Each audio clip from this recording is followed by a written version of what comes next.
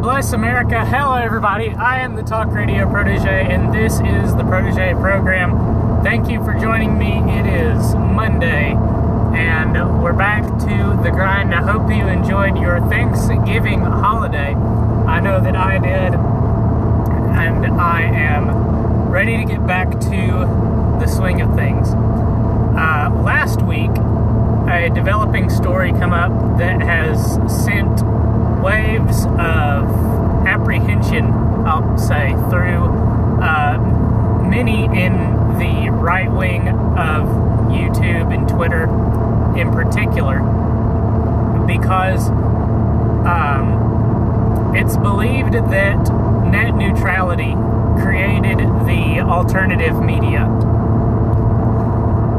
And Trump's FCC ha- is. Uh, in the process of reviewing and seeking the repeal of the Obama era net neutrality regulations. Uh, he did this in a statement last Tuesday. And in case you didn't know, here's a brief uh, recap of what the net what net neutrality is in its current iteration, what it does. Uh, internet. Uh, this is information that's available on Wikipedia, but uh, this is the short, short version. Uh, net neutrality is the buzzword name for rules placed on internet providers in 2010 by the Obama FCC.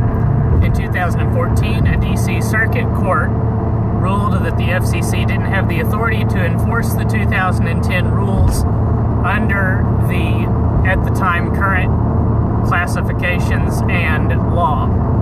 In response to this ruling, the FCC classified internet providers so that a different law applies, giving the FCC more authority over internet providers.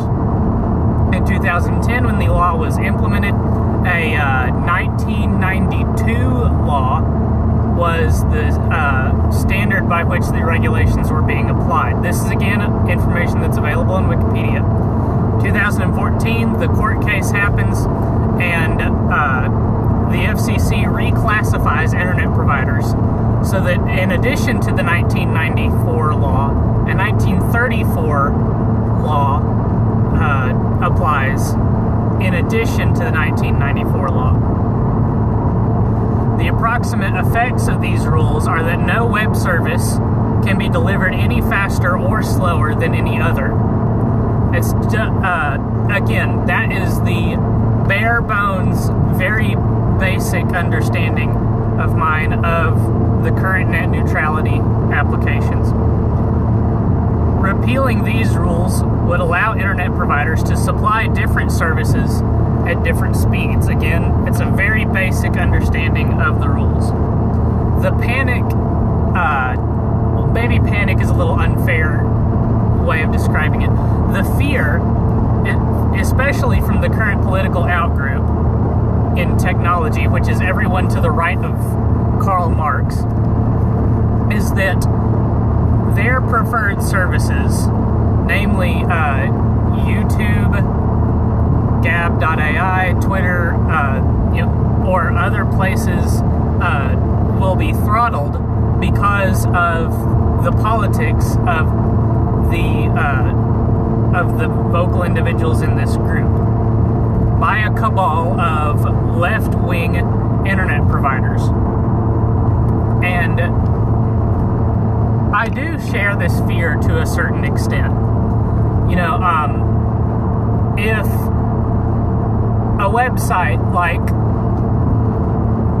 minds.com or I suppose a, a more um, visible example is 4chan uh, is can be tarred and feathered as an alt-right or far right wing or neo-Nazi gathering site, then the left wing internet providers are more likely to throttle access to that website if they are allowed to.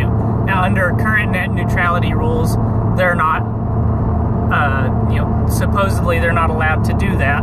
So it keeps access to locations like that open.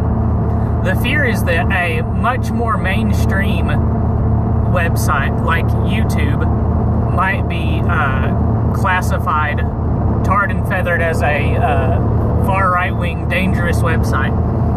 Or if the internet providers have the capability, perhaps just the content from specific individuals on YouTube can be classified as hateful, neo Nazi, far right wing, alt right uh, propaganda and therefore throttled, which would effectively kill uh, these individuals' way of propagating their information. That would include someone like me, to be sure. I suppose, however, the difference between myself and these other individuals with whom I share a lot of perspectives, except on this issue, is that I trust the market to resolve this issue much more than I trust the government to resolve this issue. Um, in regulating communications, telecommunications, technology in the past, the government has throttled innovation and technical progress in these fields. Um, FM radio was invented, discovered, whatever uh, term is applicable, in 1934. And it wasn't until the 50s, 60s, you know, decades and decades later, the, the first FM radio was sold in the United States of America because under the current system, um, the government regulates the or under the system at the time, the government was regulating the AM uh, radio space, the FM radio space, and the AM uh, station owners were able to lobby for the government to keep FM radio suppressed. And these days, FM radio is the more popular of the radio frequency, of the radio waves, the airspace. Airspace is dominated by FM radio. But its release was delayed by decades because the government was involved in control over the radio space. The Obama era rules, as described by uh, the commission chair are a power were a power grab by the Obama administration. Uh, I believe he says so in this uh, in this article, or he's quoted as saying so by this article on the Patriot Post. Um, and Chairman Pai's solution is to target specific uh, bad apples for sanctions rather than sanctioning the entire internet for fear of what might happen. And I, for one, think that this is the correct solution. You know, the, the fear, as has been expressed by um, alternative media personalities, from uh, left leaning individuals to right leaning and right wing individuals, is that the cabal of internet providers will all collectively conspire to throttle access to alternative media in favor of the old media, dinosaur media. And that no one is going to, um, that there will arise no internet providers who will be able to provide their uh, access to their content at uh, competitive speeds. And I think this is somewhat analogous to the scenario of um, the telephone market. I didn't live through this, so obviously I'm only telling you uh, secondhand information that I've been able to gather. But there was a time when there was one telephone provider, and then there were two telephone providers, and now we have multiple national providers, at least uh, by my count, four. We have AT&T, Sprint, T-Mobile, and Verizon. Just off the top of my head that I'm able to name. And there are dozens of other regional telephone providers as well. Uh, if you don't want a national telephone provider, maybe you don't make national calls, maybe you don't need to be able to, maybe you don't even travel nationally and you just live in a regional area. Maybe you live and do everything that you do in a single metropolitan area. You can use a regional telephone provider.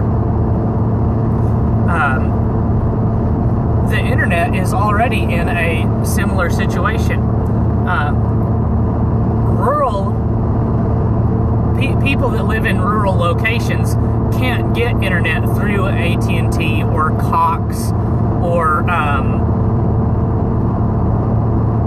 Suddenlink or any of the other, uh, you know, bigger city type internet providers. They have to go through regional internet providers or satellite internet providers. These are the alternatives that people are uh, that people have the availability to use. And I think satellite internet is going to be the future of internet providers. Um, the infrastructure of the internet is one thing that I hear people talk about a lot when they talk about net neutrality and how important it is. Uh, the way I understand it, the construction of internet infrastructure is expensive, and there's a limited amount of internet infrastructure that a limited number of companies have control over, and therefore it is uh, feasible that a cabal of internet providers uh, through the infrastructure companies could throttle outgroup uh, voices. But if the internet provision was not limited to the hard infrastructure, the uh, fiber optic cables, the hard lines, if it could be, uh, if satellite internet companies could make themselves more appealing through perhaps offering access to uh, the high profile websites, the a small number of websites that everyone uses, that a lot of people would like to invest capital in, perhaps those satellite companies could improve their infrastructure and become viable alternatives for more uh, websites, for access to a wider array of websites. We can't know if that uh, we this can't be realized if the uh, market is throttled in such a way that benefits the existing infrastructure. And uh, that, I believe, is perfect, perfectly reasonable expectation of what these, what the repeal of these rules might uncover.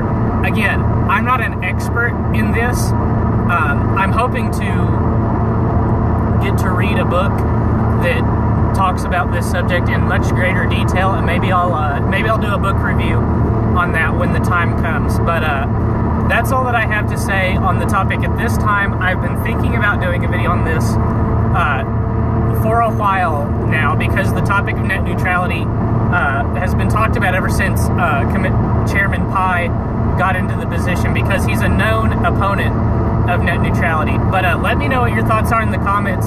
Let me know if you think net neutrality is something that needs to be kept in place. Uh, maybe it's something that's antiquated on old rules out of 1934, as I said. Uh, but most importantly, if you enjoyed this video, leave a like and subscribe. Hit the bell for notifications so that you don't miss a single video. I'm uploading every single weekday thus far without fail. Again, thank you for watching. Until next time, good night and God bless.